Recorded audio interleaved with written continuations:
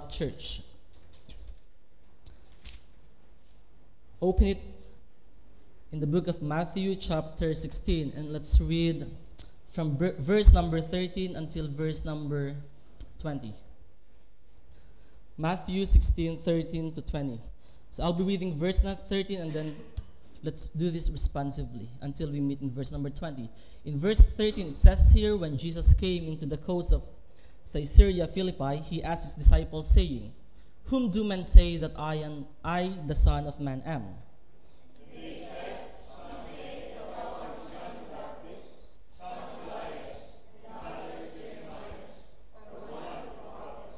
He saith unto them, But whom say ye that I am?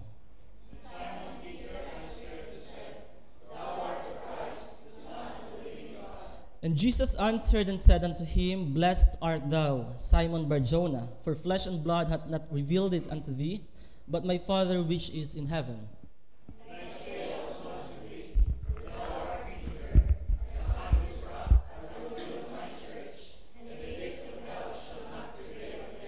And I will give unto thee the, key, the keys of the kingdom of heaven. And whatsoever thou shalt bind on earth shall be bound in heaven, and whatsoever thou shalt loose on earth shall be loosed in heaven. Then charged he his disciples that they should tell no man that he was Jesus the Christ. Let us come to the Lord in prayer. Lord, we are thankful and so privileged, Lord, for, be, for being here. Thank you, Lord, for the wonderful songs that we've sung. But still, Lord, we acknowledge the fact that the most important part of our worship service is none other than studying the Word of God. Thank you, Lord, for the freedom, the liberty that we have right now in studying the Word, and for these people, Lord, who are valuing the essence of prayer by attending this prayer service. We're praying, Lord, that those who are not here, though they have their own reasons, will still learn how to value the, the, the every service of this church that we have. We're praying, Lord, that uh, they, they will come to the point of their lives that they really understand how important this assembly is, this church is in particular. Thank you, Lord, and bless me as I speak. There's nothing in me. Help us, O Lord, to, to have receptive hearts that we will try to understand what your will in our life is. All these things I ask, Lord. In Jesus' name I pray. Amen. So allow me to give the title for this message How Can Be a Strong Church? How can be a strong church? Now, church is the translation of the Greek term ecclesia. Tama nga naman. And is used in the New Testament to identify the community of believers in Jesus Christ. Going back to the definition of what the church is, um, as what our professor imparted to us last Bible study, Professor Wilson. He told us that the meaning of church is, um, wait, uh, I think I lost it. The meaning of church is an organized congregation of born again, scripturally baptized individual in a given place, meeting in covenant with God, and with each to carry out the spirit and the letter of Christ's commission as found in Matthew 28, 18 to 20. So basically, church is something that is not a building. Going back to the Old Testament, we will be able to see what a church is. Though they were not scripturally baptized, but the fact is, these people were assembling together. And you call it church. But here in the New Testament, and in our, in our church nowadays, the word church is a similar term was used in the Old Testament, referring to those events such as the day of the assembly, the Lord's congregation, or meeting before the Lord. Thus, when Jesus declares, I will build my church in Matthew chapter 16, verse 18, it did not come as something unfamiliar to his disciples. Because actually, they already had an idea of what church was. Now, in the New Testament, the word is confined strictly to refer to the congregation of believers in Jesus Christ. Kaya nga po, we are so very blessed that we are not only saved, but we are also a member of the body, which is the church of God. It is worth mentioning that in the New Testament, no synagogue, no temple, chapel, or even huge tabernacle, a building or other meeting place was ever called a church. if you are going back to the New Testament, the term church always referred to the Christian assembly, and in the New Testament, it was used for both the local community of believers. Kaya tayo dito, we call ourselves church. Kaya ikaw, ako, tayong lahat, ang tawag sa atin ay iglesia ng Panginoon. Kaya nga po, we don't believe na, na ang church ay walang right authority.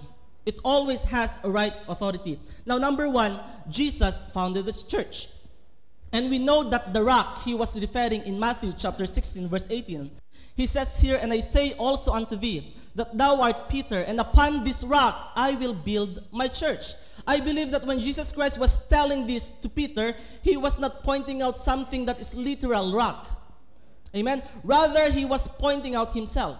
Because we believe that the rock that whom we are serving is none other than the Lord Jesus Christ. Actually, there was a verse that says, The Lord is my rock and my salvation. Whom shall I fear? Kaya nga po mga kapatid, we are blessed na ang, na ang church ay nag-perpetuate mula pa sa panahon ni Kristo. Why? Because it is a promise of God as found in Matthew chapter 16 verse 18 that even the gates of hell will not prevail against it. You think of the very foes or the very best enemy that a church can face against with. And dito pinangalanan ng Panginoon yun that even the gates of hell, the most, ano bang pwede sabihin natin? Yung, yung pinakadakilang enemy na pwedeng humadlang sa simbahan was even challenged by Jesus Christ. That even the gates of hell will not prevail against it. Kaya nga, wala sa atin ang pwedeng magyabang na yan, church na yan, mawawala yan kung wala ako. Gagaling ka pa ba sa impyerno? E doon ka nga iniligtas ng Panginoon. Galing, gagaling pa ba ako sa impyerno? Yung bang kakayanan ko ay gagaling pa sa kakayanan pwedeng gawin ng impyerno? Kaya wala sa ating pwedeng magmayabang. All of us here are only entitled to give gratitude to God.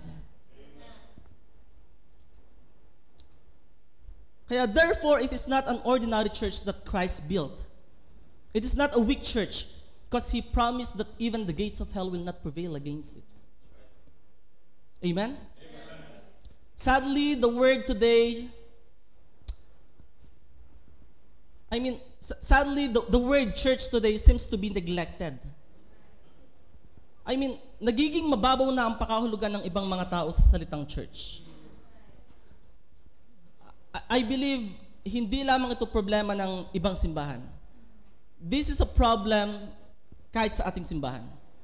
Because there are Christians here that iniisip nila that church is something is only a place for acquaintance.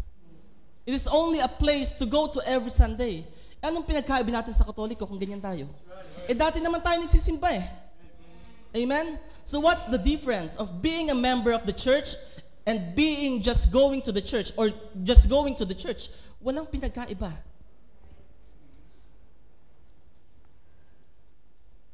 Kaya magiging maingat tayo sa puso natin. Mga kapatid, bakit ka ba nandito?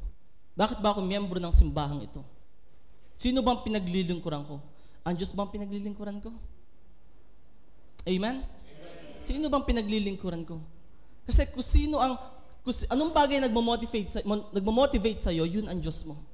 For example, for example, andito ka sa Cambodia just because you have your own job.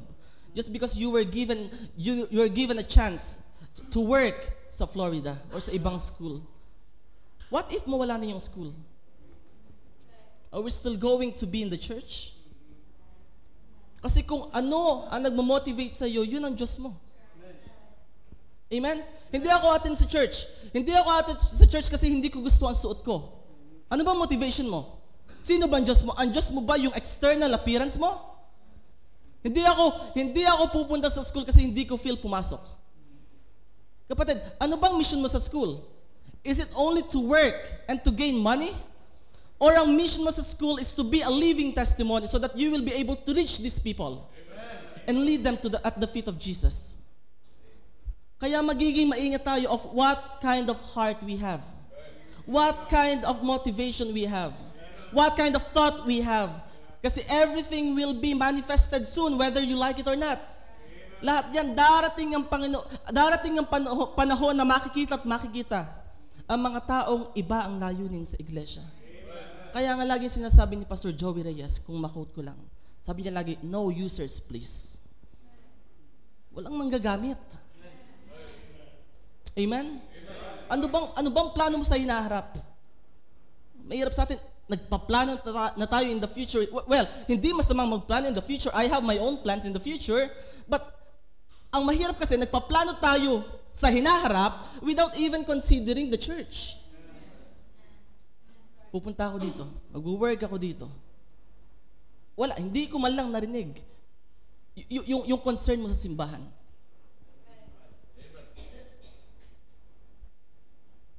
Now, for many people, the barometer of being a strong church are what they can actually see.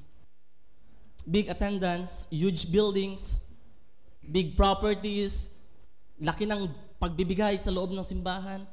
Pero ano ba talaga ang essence? Ano ba talaga ang totoong kahulugan ng isang matibay na iglesia? How can we be a strong church in a crook and reprobate world? The Bible says, this world lieth in the wickedness. Now, papaano ang isang iglesia ay patuloy na tatayong matibay sa mundong pasama na ng pasama. But then the assurance is this. The Bible says, greater is he that is in you than he that is in the world.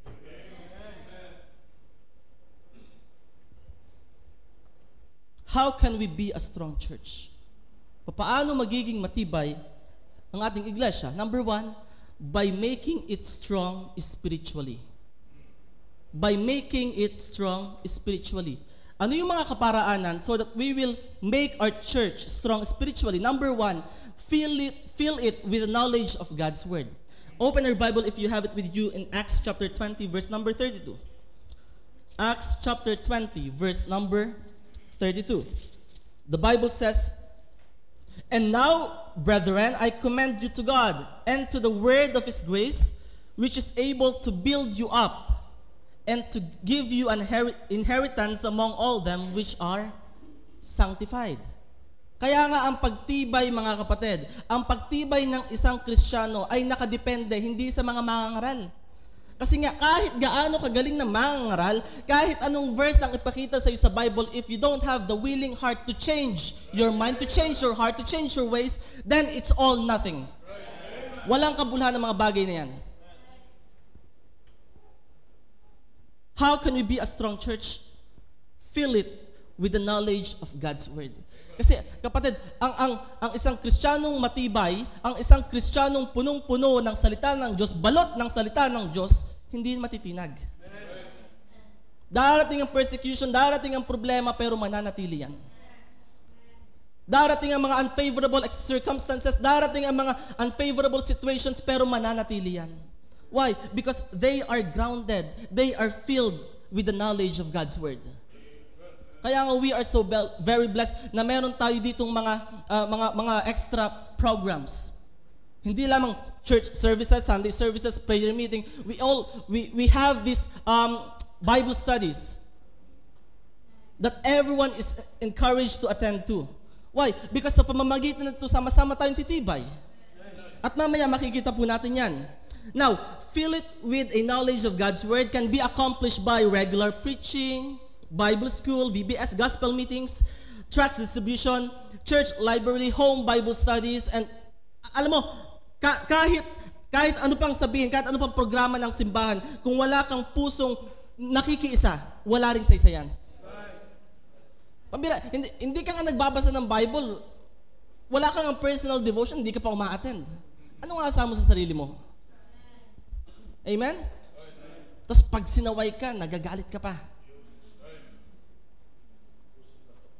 Pusong ba to? Yes, Sir Wilson. By making it strong spiritual. How can we be a strong church? By making it strong spiritually. Fill it with knowledge of God's word. You know, plain Bible preaching is essential. Just the plain Bible teaching. Kaya nga we come here not to hear opinions. We come here not, not to hear personal insights. Bagamat maganda mga bagay na yan, pero ang ipinupunta natin dito is just the plain Word of God. Plain Word of God. Alam mo, the, the Bible can stand even without this extra biblical revelation. Magandang may mga commentaries, magandang may mga ginagamit tayong mga mga applications for us to to to really get deeper sa salita ng Diyos. But the thing is, the word of God is sufficient enough. It is enough. Kaya alam mo, we are grateful that we have preachers, mga kapatid. Hindi ako yun ah. That we have preachers that are really getting deeper sa salita ng Diyos. Alam mo, ang hirap na makakita ng simbahan ganyan. Ako, driver ako ng papa ko sa Pilipinas. So, I was able to go to different kinds of churches. At ang mga preachings, hindi naman sa pag-ano, talagang, talagang, kwento na lang. Kwento na lang.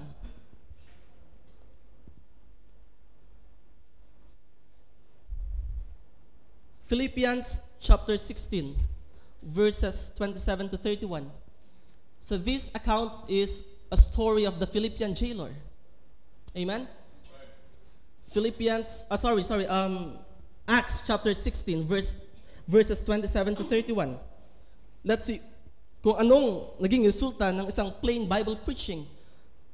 Okay, it says here, and the keeper of the prison awaking out of sleep, because nakatakas na nga po si, si Peter and Silas, if I'm not mistaken, and seeing the prison doors open, he drew out his sword and would have killed himself, supposing that the prisoner has, had, been, had been fled.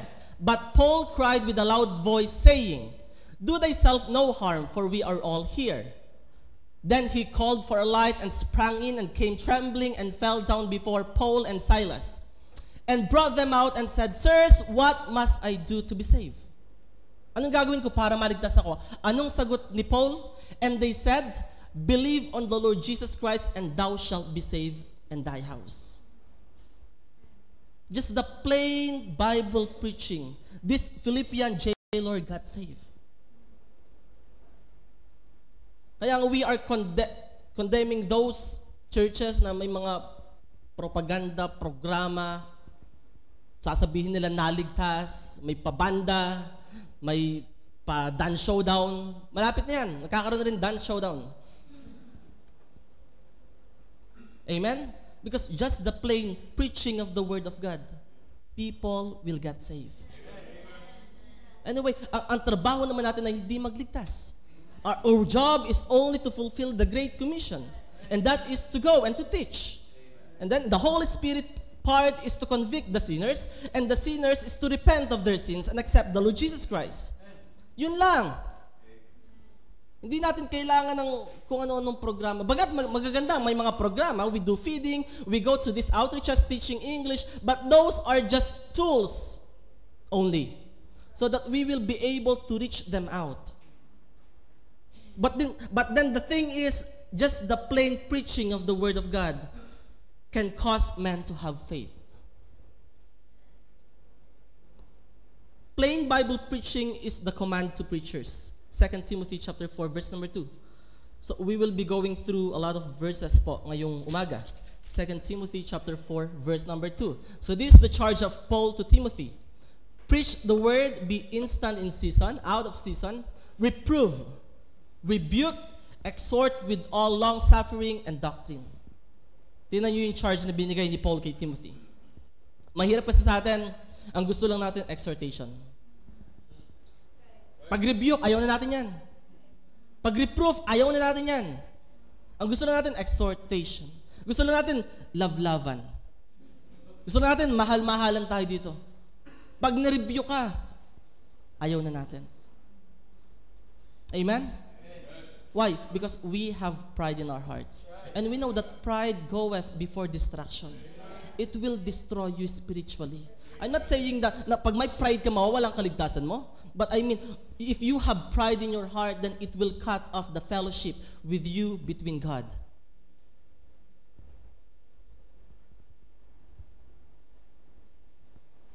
Colossians ch- chapter 1, verse number 18. Lifting up God is what preaching is to promote. Sabi po dito, and He is the head of the body, which is the church, who is the beginning, the firstborn from the dead, that in all things he might have the preeminence.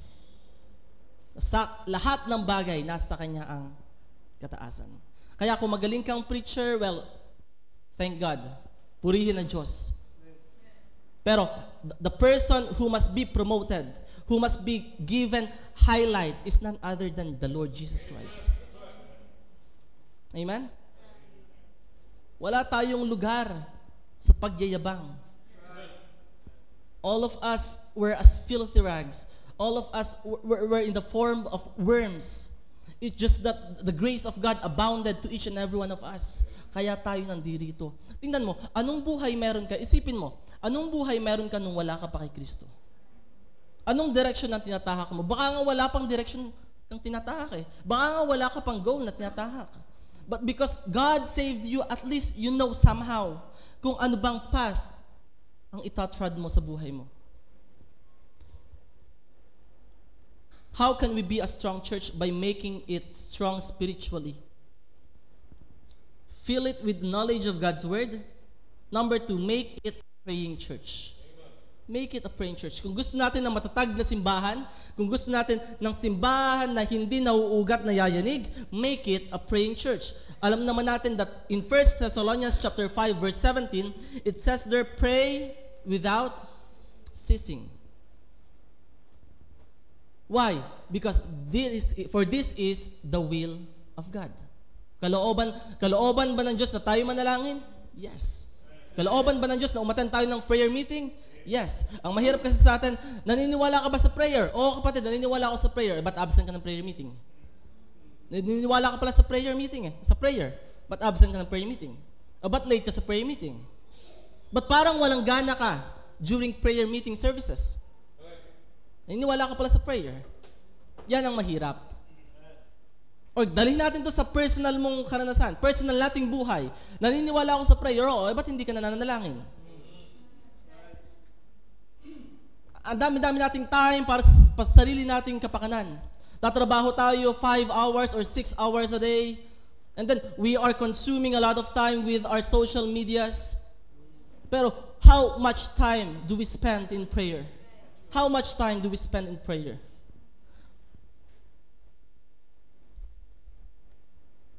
Not only that fill it with the knowledge of God's word, not only make it a praying church, make it also a united church.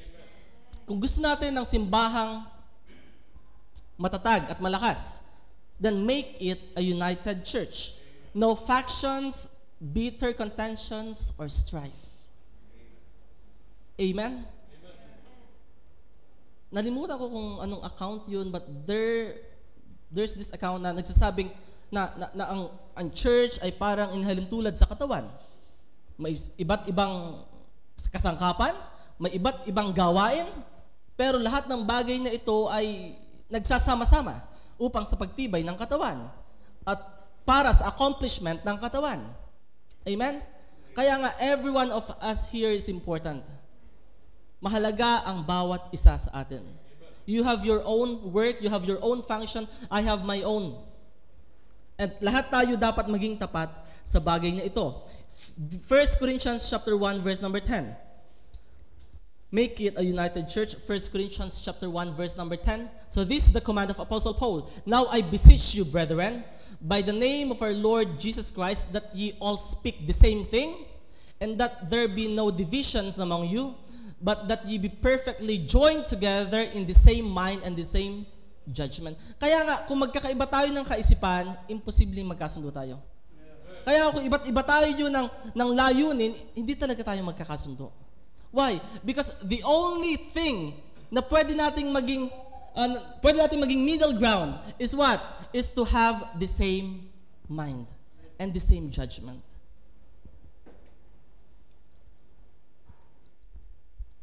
Make it a united church. Great unity was evident in the first century church in Jerusalem.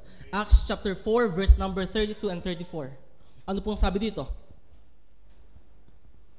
And the multitude of them that believed were one of were of one heart and of one soul. Neither said any of them that aught of the things which he possessed was his own, but they had all things common. And with great power gave the apostles witness of the resurrection of the Lord Jesus, and great grace was upon them all. Neither was there any among them that lacked, for as many as were possessors of lands or houses sold them, and brought the prices of the things that were sold. Now, material things were divided so that there will be equality in Jerusalem. Now, today, hindi ko naman sinasabing kung anong meron tayong lahat, pag samasamahin natin, divide natin. What I'm trying to point out, what, I'm trying to drive right now is the Lord has blessed us with people who are deep. Amen? And are much more intellectual with regards to the Word of God. And so they are trying to impart Okay? Yung mga bagay na natutunan nila. Why? Sapagkat so that there will be equality among us. What I'm point what I'm pointing is this. What I'm pointing out is this. Alam mo, ang ganda ng simbahan na pagdating sa kaalaman ng Diyos, lahat tayo equal. I mean, yung sabay-sabay tayong lumalago. Sabay-sabay tayong lumalalim. Sabay-sabay tayong sabay-sabay tayong nagiging dedicated sa pag-aaral ng Biblia. Why? Sapagkat so that there will be equality. And if we have equality, then it promotes a united church.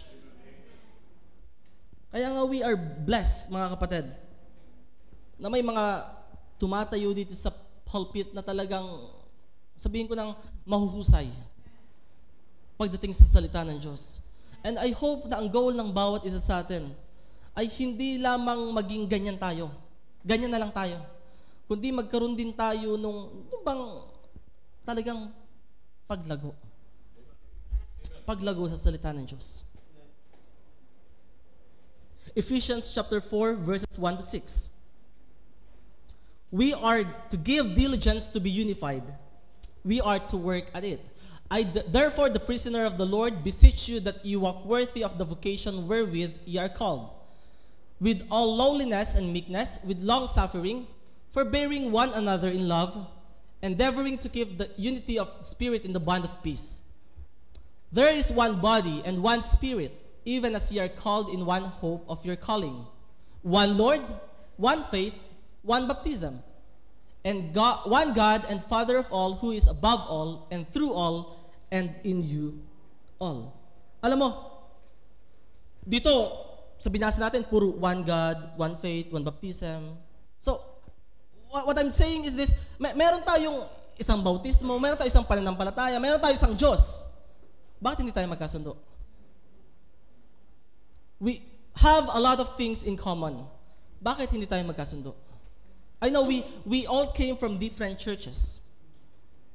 We have our own upbringing. We had our own um, culture. We had our own uh, pagkakaintindi sa salita ng Diyos. But kapatid, andito na tayo eh.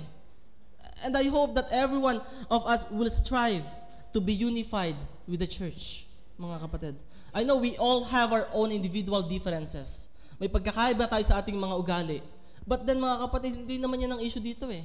Ang issue dito is maging kaisa tayo ng iglesia. Kakaunti na nga tayo, hindi pa tayo magkaisa. Buti pa yung mali. Ang dami nila.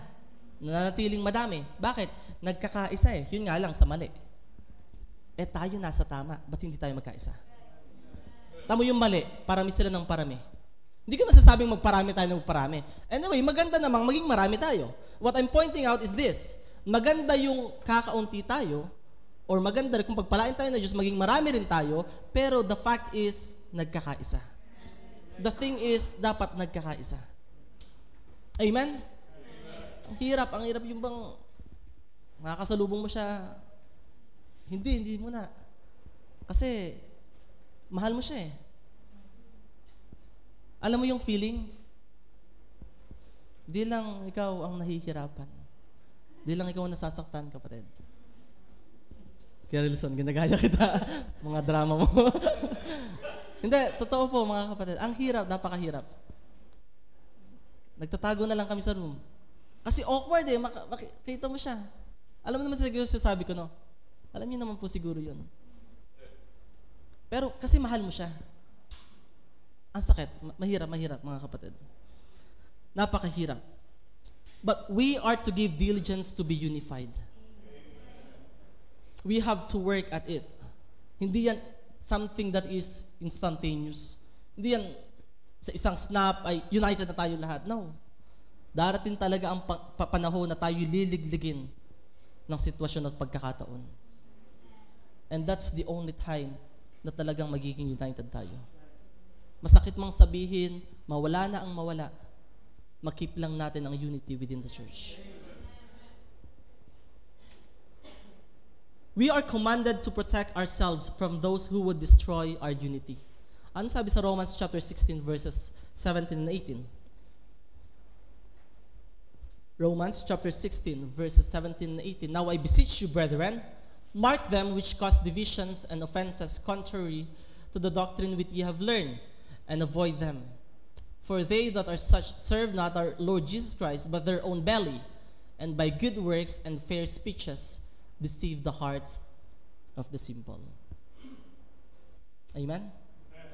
Kaya nga, kung tayo mananatiling simple, kung tayo mananatiling ganito sa ating katayuan, hindi lumalalim, hindi lumalago, darating ang panahon, you will be deceived.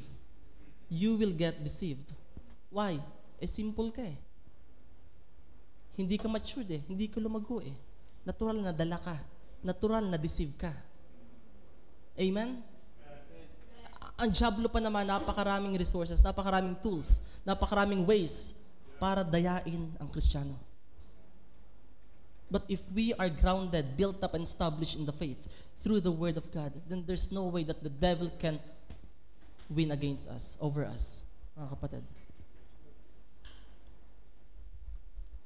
So if we want to have a strong church, make it strong spirit, make it strong spiritually.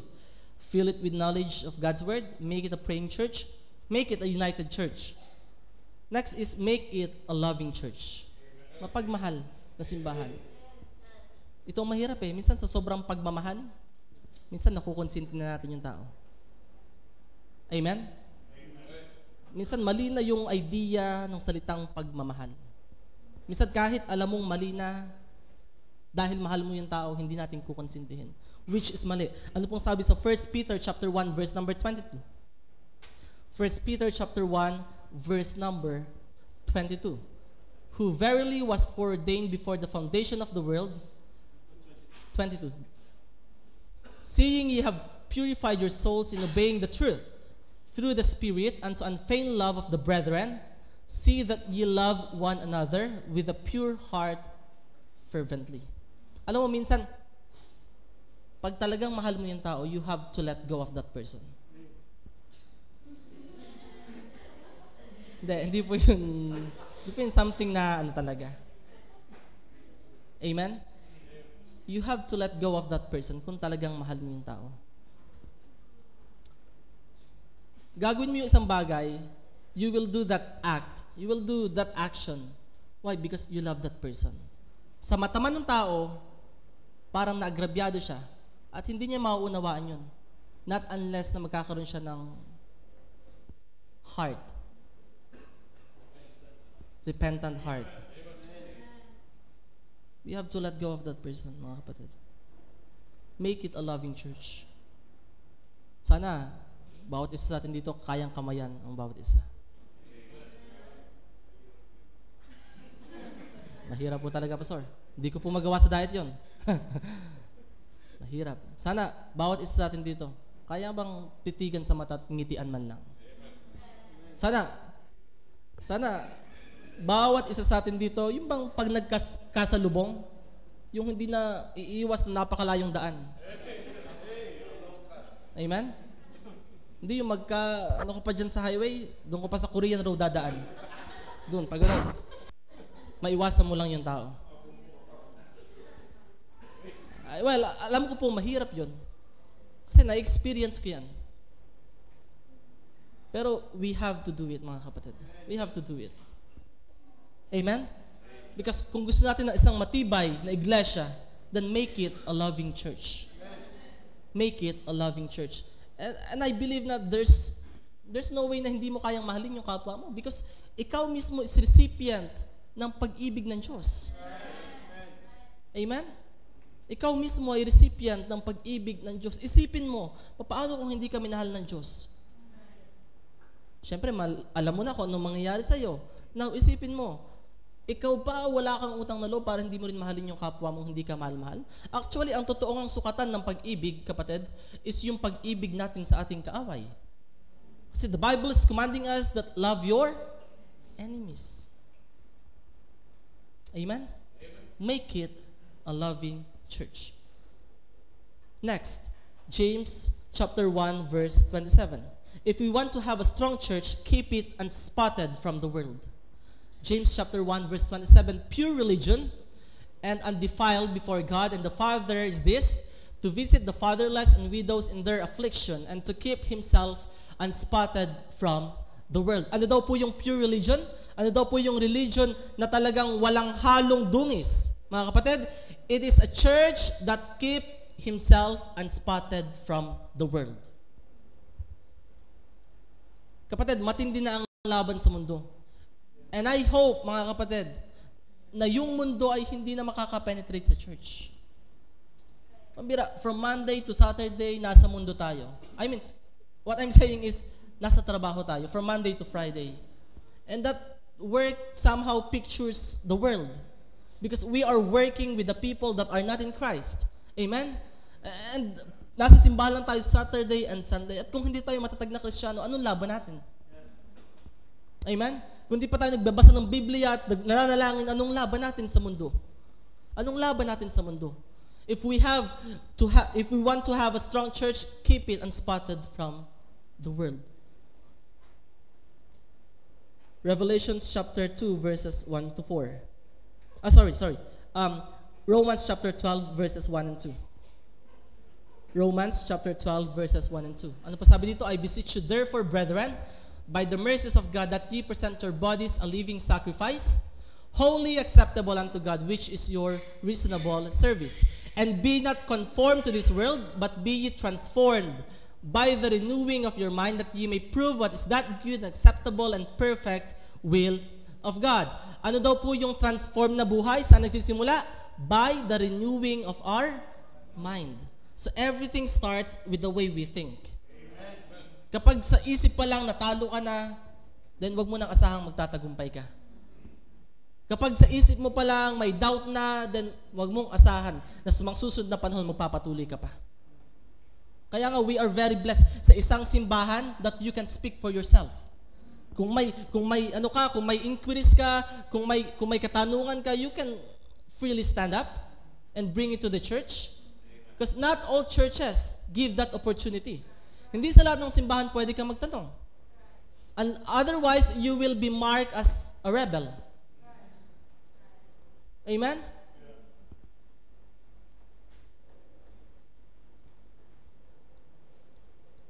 How can we be a strong church? So number one, by making it strong spiritually. Number two, by making it strong in deeds. By making it strong in deeds. Fill it with zeal and devotion. Revelation chapter 2, verses 1 to 4. Let's see uh, the, the story of the church at Ephesus. Unto the angel of the church of Ephesus write, This thing saith he that holdeth the seven stars in his right hand, who walketh in the midst of the seven golden candlesticks.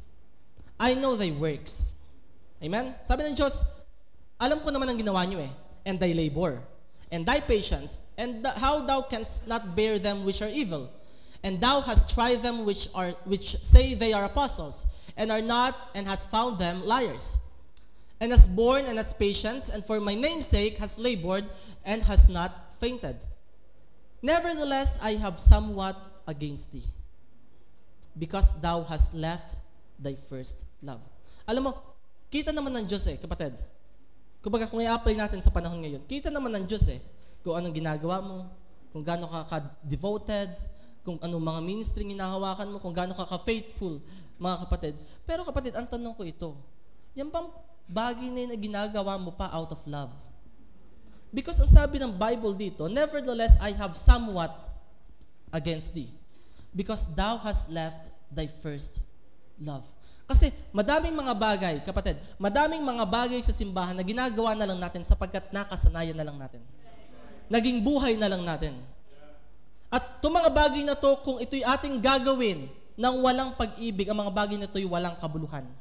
Sabi nga sa 1 Corinthians chapter 13, ang daming mga gifts ang binanggit doon, mga kapatid. May, merong binigyan ng gift to prophecy, to prophesy, merong binigyan ng gift to, to, to miracles, to, to speaking in tongues. But then, kung, ang mga bagay na to, kung walang pag-ibig, lahat ng mga bagay na walang kabuluhan. Magaling ka mag-song lead pero kung walang pag-ibig sa pag pagsa-song lead mo, wala yang kabuluhan. Magaling kang umawit pero whenever you are singing here and walang pag-ibig yan, wala yang kabuluhan. Lahat ng bagay na ginagawa natin must be motivated by love. Otherwise, God would somewhat against you. Ang Diyos magkakaroon ng isang bagay na laban sa iyo. Why? Because thou hast left thy first love. Ang hirap pa namang iwanan ng first love. Amen? Ang hirap. Kahit pa sabihin mong tagal na panahon na lumipas, because yun ang first love mo, napakahirap. Tinutukoy ko ang Diyos ha? Amen? I'm referring to God. Amen? Imagine mo yung puso ng Panginoon dito. Amen? Alam ng Diyos, sa, na, itong mga taga-church at Ephesus, nagtatrabaho sila, magandang ginagawa nila, lahat ng mga bagay na, na pabor ay ginagawa nila para sa Diyos. Pero ang Diyos hindi nalulugod eh. Why? Because yung ginagawa nila wala ng pag-ibig. Amen? Kaya nga everything that must be done and said here behind the pulpit must be motivated by love. Kahit galit na galit na tayo, it must be out of love. Amen? Whenever we preach, nagpipreach tayo hindi dahil meron tayong against kay kapatid. We are preaching because gusto na nating mabago siya sa pamagitan ng salita ng Diyos. Bakit? Sapagkat mahal natin siya. Amen? Sapagkat mahal natin siya. Number two, make it a church that values church services. Kung gusto natin ng simbahang malakas o matatag, make it a church that values church services it's good to have our own personal worship to God. Amen? It's good to have our own personal worship to God. But corporate worship is another thing. Amen? Ano bang design ng church? Ano bang definition ng church? Called out assembly. Eh kung ikaw mananatili ka sa bahay mo, sasabihin mo, doon mo na lang sinasamba ang Panginoon. Ano pang essence ng church? Amen? Ikaw ba kung mag-isa ka, assembly bang matatawag ang sarili mo? Hindi. Amen?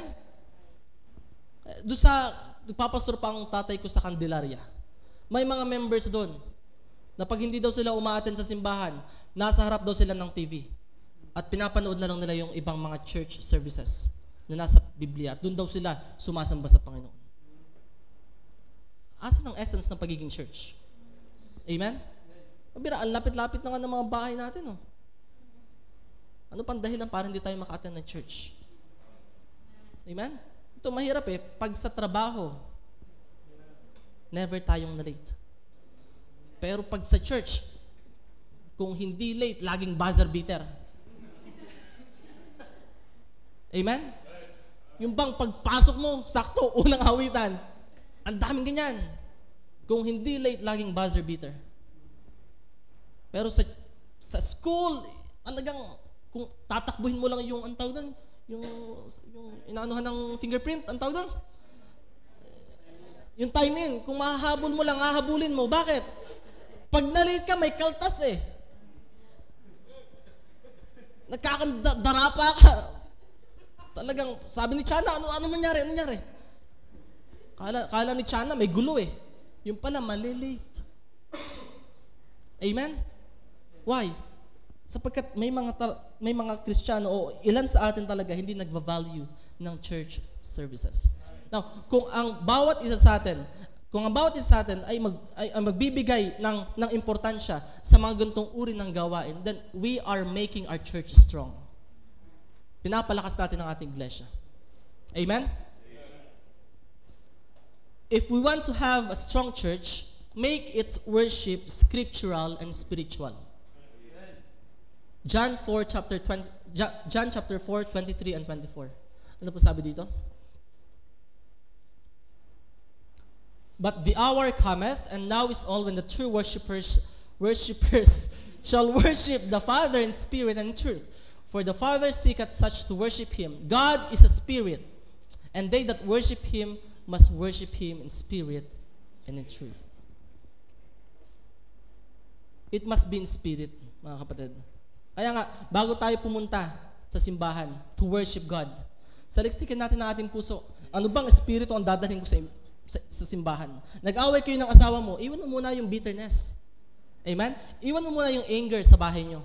Why? Because you should have the right kind of spirit before worshiping God. Bawa, nagkaroon ka ng problema sa trabaho, ay huwag mong idamay sa simbahan. Iba naman ang issue ng trabaho sa kanang simbahan. Amen? Nagkaroon ka ng problema sa bossing mo, ay iba ang problema nyo doon sa school kaysa sa simbahan. Why? Because there are Christians na kung may problema sa ibang bagay sa labas ng simbahan, dinadala pati sa loob ng simbahan.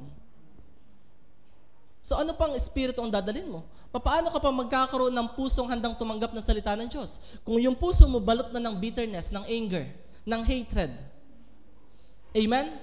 Paano pa? Paano pa? And it must be in truth. Our worship must be scriptural and spiritual.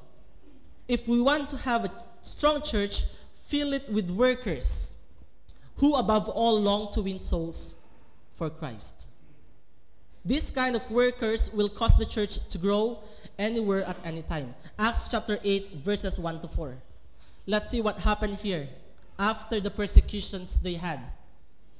And Saul was consenting unto his death, and at the time there was a great persecution against the church, which was at Jerusalem. And they were all scattered abroad throughout the regions of Judea and Samaria, except the apostles. Verse number 2.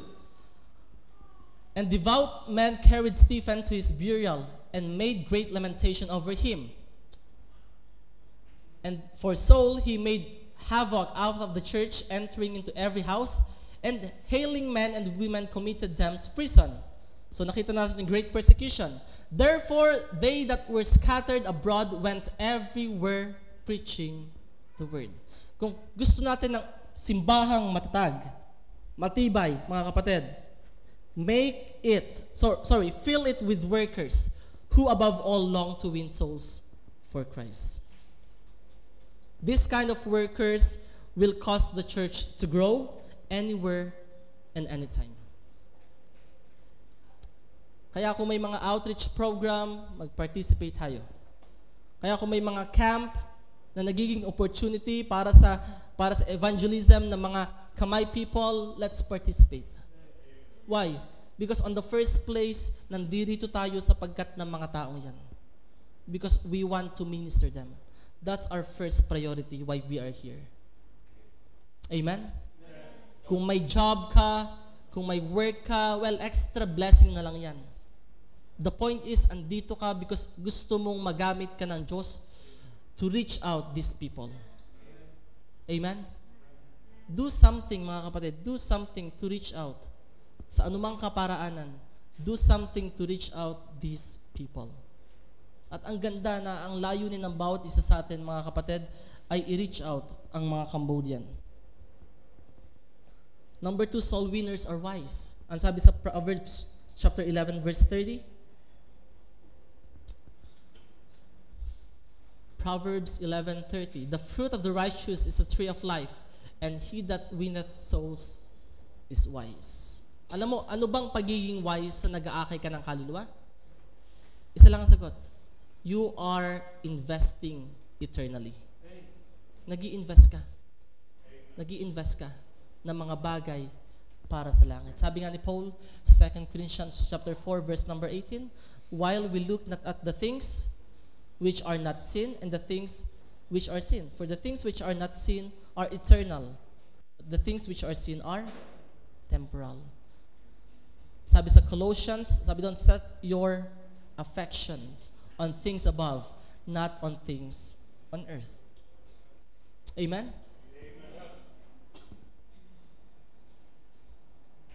So if we want to have a strong church, fill it with workers who above all win souls for Christ.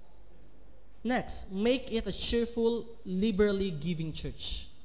Kung gusto natin ng matatag na iglesia, make that church a cheerful, giving church.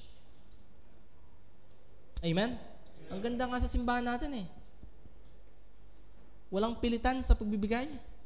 Papaunawa lang sa'yo anong kahalagahan ng stewardship, then it's up to you whether you apply it or not. Because not all churches are like that. May simbahan nga na pinasara yung simbahan eh. Walang uuwi hanggat hindi natin nakukumpleto ang ating goal. Oh. Para makumpleto na lang, nagbigay pa yung mga members. Asan doon ang liberal giving? Asan doon ang cheerfulness? But here in our church, tinuturoan tayong i-practice ang faithful stewardship. Amen? And that's it. That's it. And the last one, if we want to have a strong church, make it a working church. Everyone has something to do. No one must bury his or her talent. Kapatid, ano bang ibinigay sa iyo ng Panginoon na pwede mong gamitin sa Kanya? Na kung nakita mo yun, kung na-figure out mo kung ano yung bagay na yun, then ipagamit mo sa Kanya. Because every one of us here, I believe na mayroong ibinigay sa iyo ang Diyos para gamitin mo sa Kanyang gawain. Hindi lamang disenyo ng Diyos na maging taga-upo ka, tagapakinig. Ang disenyo ng Diyos is hindi ka lamang maging tagapakinig, kundi maging tagasunod din lamang ng salita ng Diyos. Amen? So I hope that we will somehow reflect out of this truth from the Word of God. Makikita natin, an- ano ba talaga ang, ang, ang ano ba talaga ang formula para magkaroon tayo ng isang iglesyang matibay at matatag. Dumarating ang problema mga kapatid, normal yan. Dumadating ang mga ang mga bagay na hindi natin inasahan, normal yan. Amen? But the goal of everyone must must be like this. How am I going? An anong pwede kong i-share para ang simbahan namin ay maging unified? Maging matatag. Sana kapatid, hindi na tayo is, hindi na tayo yung isa sa mga taong nagiging dahilan upang ang simbahan natin ay bumagsak at manghina. Bagkus ang goal natin, papaano, ano bang contribution ang pwede kong ibigay para simbahan namin ay patuloy na magpatuloy at patuloy na tumibay. Manalangin po tayo.